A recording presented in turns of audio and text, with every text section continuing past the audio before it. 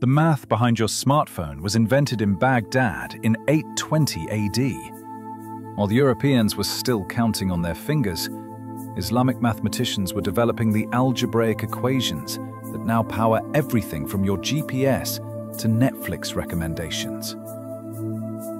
The word algebra itself comes from Arabic, and the man who invented it changed mathematics forever.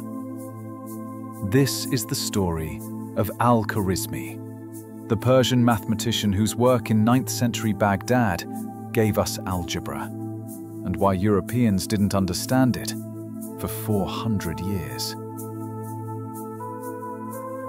Muhammad ibn Musa al-Khwarizmi worked at the House of Wisdom in Baghdad around 820 AD. His revolutionary book introduced a completely new way of solving mathematical problems. The word Al-Jabr from his title became our word, algebra.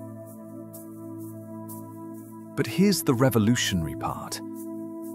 Instead of just working with specific numbers, Al-Khwarizmi used symbols to represent unknown quantities. This abstract thinking was completely foreign to European mathematics at the time. European mathematicians were still following ancient Greek methods, using geometry to solve everything.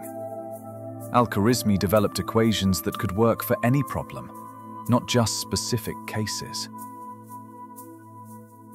But Al-Khwarizmi gave us something even more significant than algebra. His name became our word, algorithm.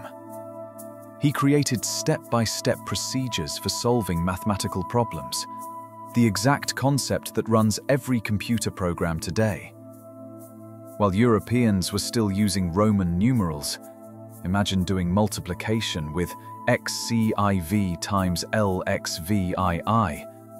Islamic mathematicians could calculate in minutes what took Europeans hours. Today, every time you use GPS navigation, your phone solves algebraic equations. When Netflix recommends a movie, it's using algebraic algorithms.